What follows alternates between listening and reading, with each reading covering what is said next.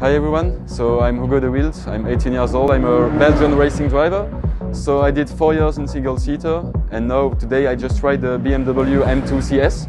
So it was a really nice experience. I did a few laps here at Circuit Zolder and I had a lot of fun. So the car is really nice from the inside, the dashboard and everything. It looks really professional.